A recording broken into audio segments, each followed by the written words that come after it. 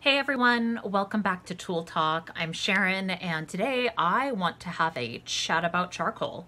Uh, charcoal is one of my all-time favorite soldering surfaces. It has a great ability to reduce the amount of oxygen around your piece so you don't wind up with fire scale. It's super reflective, so if you have a weaker torch like something with butane uh, or even propane oxygen, uh, it's great at reflecting heat back up into your piece.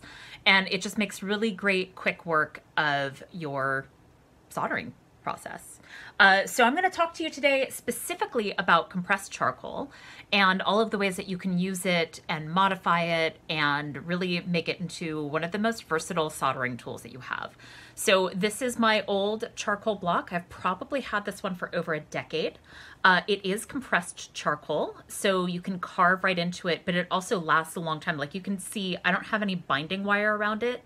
If you use the softer charcoal, the not compressed charcoal, the more traditional charcoal, you usually have to bind it up with something, uh, either steel wire or make a frame for it out of copper. But I've found over time that compressed charcoal tends to hold up really well. Um, this is a less used side. Uh, this is a more flat surface. Um, and let's talk about how I went from this to this. Okay, so I've got my charcoal block here on my bench. Um, you can see I do have my respirator nearby. I highly recommend if you do what I'm about to do with your charcoal that you wear a respirator or an N95.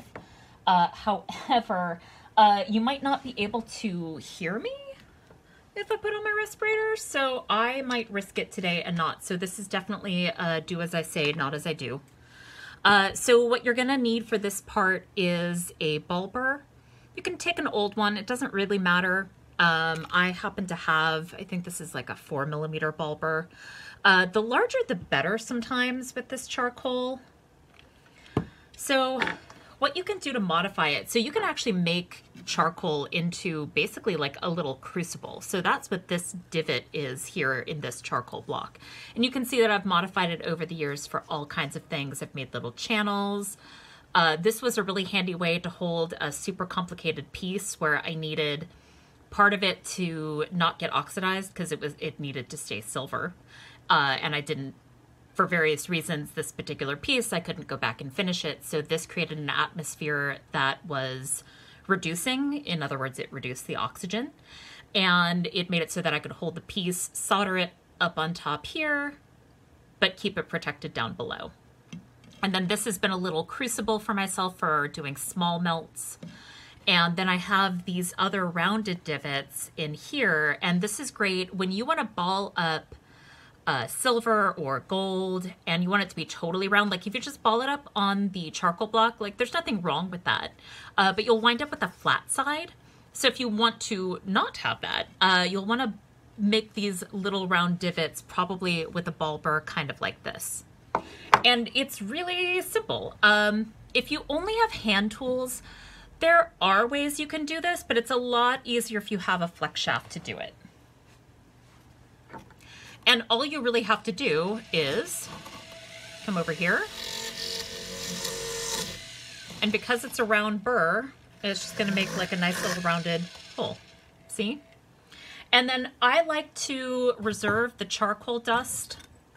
Uh, if you ever want, find yourself soldering on a surface that's not charcoal, that's not reducing, you can actually use bits of charcoal dust or like chunks of charcoal that split off of here and you can save it. And you can kind of create a reducing atmosphere on a different kind of soldering board. And this is all you have to do. So like if I wanted to go ahead and make this into a little crucible, all I do is I make a little square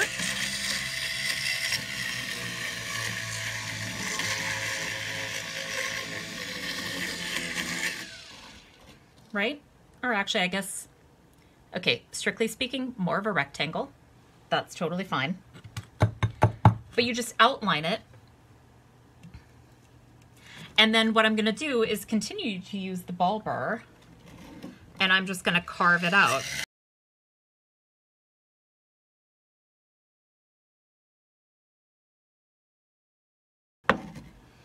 Uh, the other kind of tool you can use, I have this Uh, I guess it's an inverted cone burr, but it's got a flat side.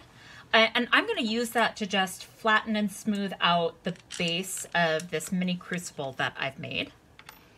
And this is going to be good if you're ever making, say, a small melt that you're going to wind up rolling down and turning into sheet. You'll want this surface to be fairly smooth.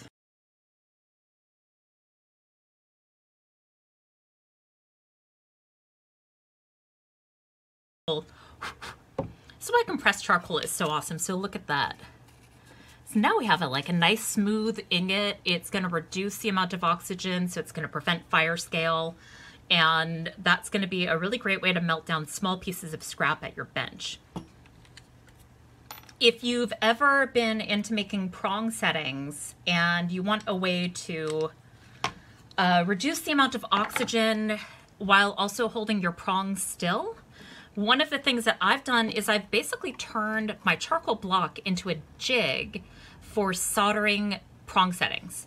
And what I mean by that, and I'm gonna try to zoom in on this, but there's some holes drilled in there from before. But let's say that I knew I wanted to make a prong setting. I can just come over here, drill my holes. This is where the wire can go to stand up and make it really, really easy to jam some wire in there and seat the rest of your prong setting for soldering. And what this does is it not only holds the prongs in place, but it also creates that reducing atmosphere so the prongs that are stuck into the charcoal block aren't going to get covered in fire scale, uh, which is great because especially if you're working in silver, uh, polishing a silver prong is already tricky enough and trying to get fire scale off of it is even trickier. So it's going to reduce the amount of time that you have to spend finishing. And I'm always a huge fan of anything that helps you to reduce time in finishing. So now what I would like to do is bring you over to the solder station uh, to do just a quick demo on why it is that I like the charcoal block. Okay, so I just want to show you how it looks to solder on one of these charcoal blocks if you haven't used one of these before and just talk a little bit about why it is that I like these so much. Uh, a while back, I designed this whole chain that was made out of 14 gauge silver wire, which is great, but you know, you've got like, you know, 30 links and you're going to need to do a bunch of them all at once. And charcoal was just the most efficient way to do it because charcoal's so reflective that when, as you heat your block, the heat's reflected back up and it made soldering those 14 gauge links go much faster. So I'm just gonna do a really quick demo. Oops, maybe a little too much flux. It does have a tendency to soak up the flux, but that's okay as long as there's some on the metal. But you can see, like, if I just turn up my torch. So I use the little torch. And that's part of the reason why I got started on charcoal blocks too, is because the, the little torch has such a small flame, but the charcoal block is so reflective that it's okay to use a small flame to solder something maybe a little bit bigger than you normally would because there's so much heat coming up from the bottom. So you can kind of see like if I just heat on the charcoal, it gets a little red. I mean, this is kind of like when you go camping and you use charcoal to heat your grill. It retains heat really well. And so the other great thing about charcoal is that if you're soldering a bunch of stuff on this block, if you start over here soldering, it's going to build heat and build heat and build heat so that by the time you got all the way over to here, these pieces will solder much faster. Ta-da! And that's all the time that it took. It was really just bloop, and then you're done. This is also a great surface, by the way, for doing things like fusing. If you work with argentium, if you work with fine silver, the charcoal block is great for fusing. that's been today's edition of Tool Talk, all about compressed charcoal. Uh, I hope you enjoyed it. If you have any questions, post them in the comments or feel free to leave a comment on our blog. I would love it if you subscribe to our YouTube channel or subscribe to our blog. I try to put these up as often as possible, and these are my totally honest reviews of different jewelry tools. I don't take any commissions, I don't accept any tools as gifts. There's no affiliate marketing going on here. This is just tools that I have found helpful, and I hope that you do too. Have a great day. Thanks.